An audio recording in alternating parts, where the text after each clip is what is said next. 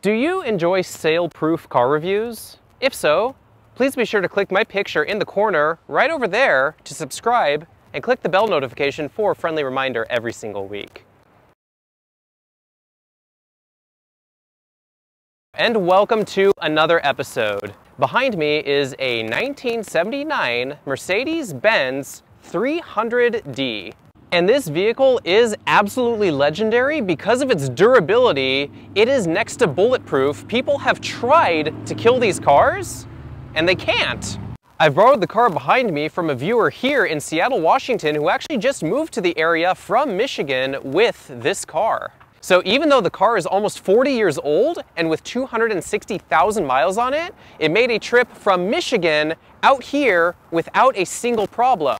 Now, Mercedes-Benz as an auto manufacturer has an incredibly long and incredibly rich history. So today, I thought I'd give you a brief history of Mercedes-Benz and their sales here in the United States. Then I'm gonna go on a walk around of the Mercedes-Benz behind me here, the 300D from 1979. And then I'm gonna ask 10 random people if they saw this car at a dealership, would it be desirable or would it be sale-proof? Guys, please forgive my funeral attire in the video as I just got out of a sales meeting. Anyway, Mercedes-Benz. Here's a brief history. Mercedes-Benz traces its roots back to 1886 when Carl Benz created the Benz Patent Motor Wagon, which is credited for being the very first gasoline-powered automobile. This car paved the way for engineers Gottlieb Daimler and Wilhelm Maybach to convert a stagecoach to a fully functioning automobile with the addition of a petrol engine. It was basically a 19th century example of an LS swap.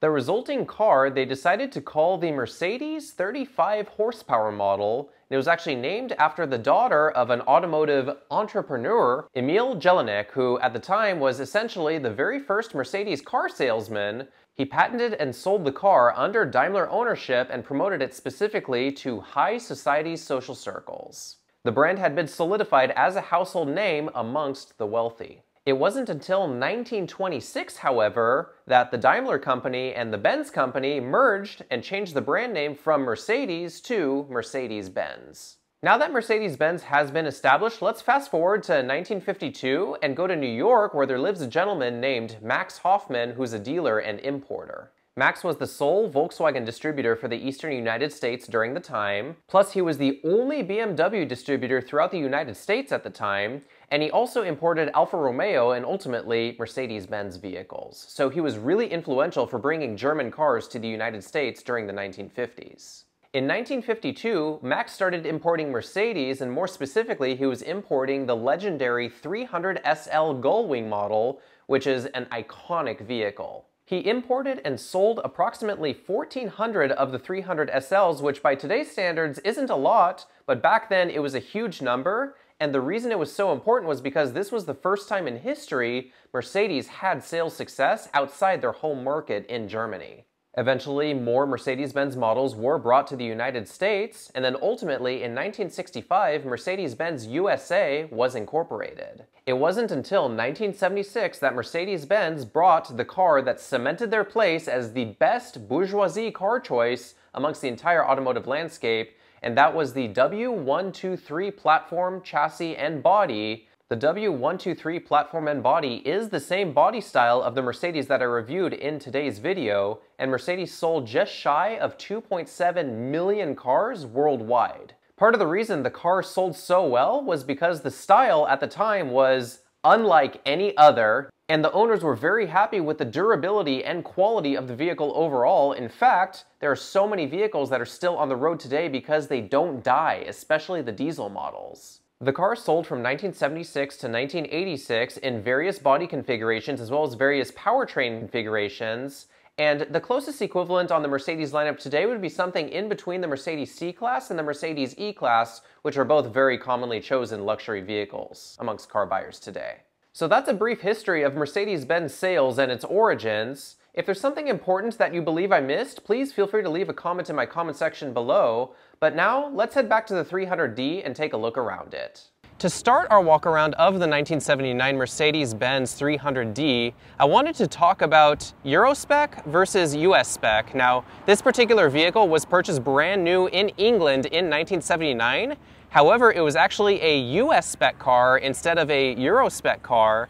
And what happened is over the years, it's traded hands a couple of times and the current owner drove this one out from Michigan and slowly but surely he's actually been converting it over to a Euro spec car. One way that you can tell it's a Euro spec car is because of the headlights. Now you'll notice that the headlights on this car are kind of a solid rectangular shape versus the US spec cars actually had a couple of bubble headlights as I'm indicating in the picture right here.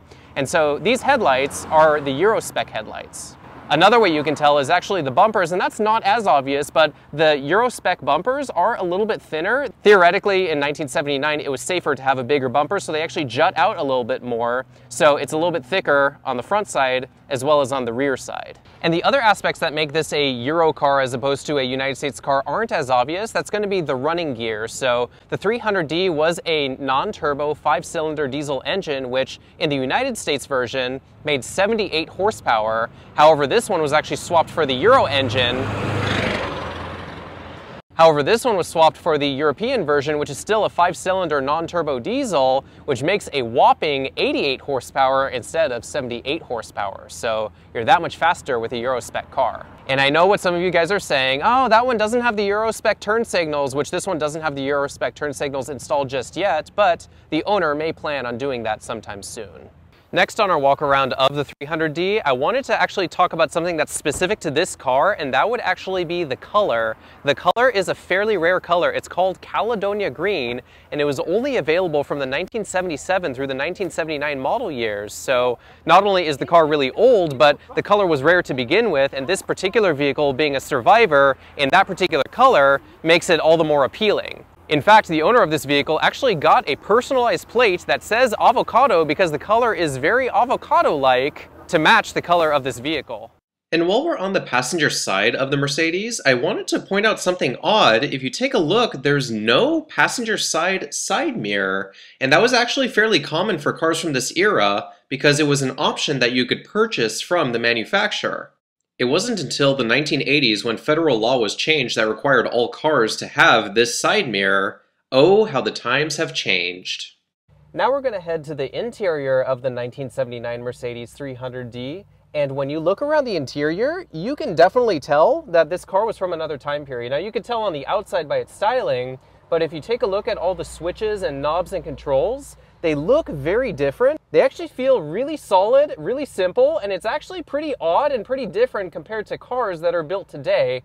Let me show you what I mean. We'll do this going from left all the way to the right. So when you start all the way on the left, you'll notice that there's a brake release, but instead of being a brake release that has the little finger grips on it that you can pull, this one actually looks something like a choke button, which is pretty interesting. So you have the brake release that looks a little bit like a choke button, and then to the right of that, you have the switch that turns on your lights, which is relatively self-explanatory.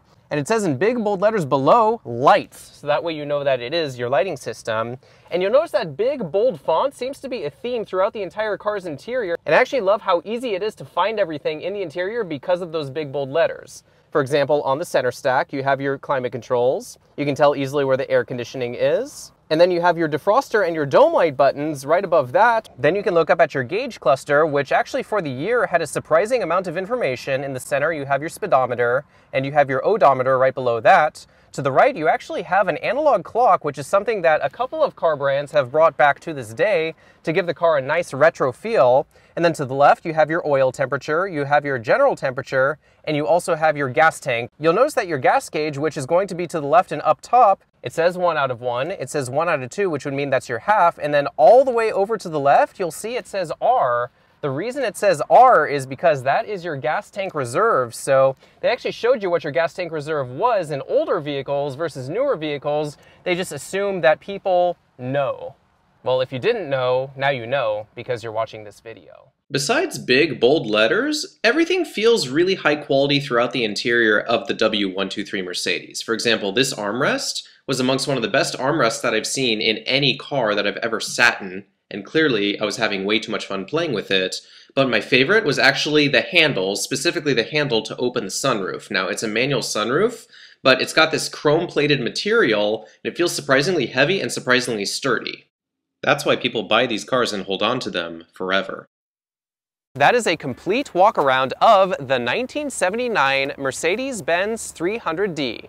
Now, let's ask 10 random people if they think this car is desirable or if it is sale-proof. Despite the ugly 1994 Nissan Maxima that's moving, we are off to a pretty darn good start. It looks like we are at two for, I'm sorry, three for three green check marks for this green Mercedes-Benz 300, oh shucks. There's a red Prius that just parked behind it. That red Prius could influence the decisions of the rest of the people that are taking a look at this beautiful 1979 Mercedes-Benz 300D W123. Wait, sorry, I just lost track of time. Is this actually happening? We were at 9 for 9 green check marks. Holy cow. 10 for 10? Unbelievable. The very first 10 people that I asked about the Mercedes all said that it was a desirable vehicle, making it the least sale-proof car that I've ever reviewed. However, what say you? What do you think?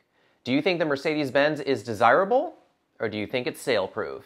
Please feel free to leave your opinion and a comment below in my comment section. Do you enjoy sale-proof car reviews? If so, please be sure to click my picture in the corner right over there to subscribe and click the bell notification for a friendly reminder every single week.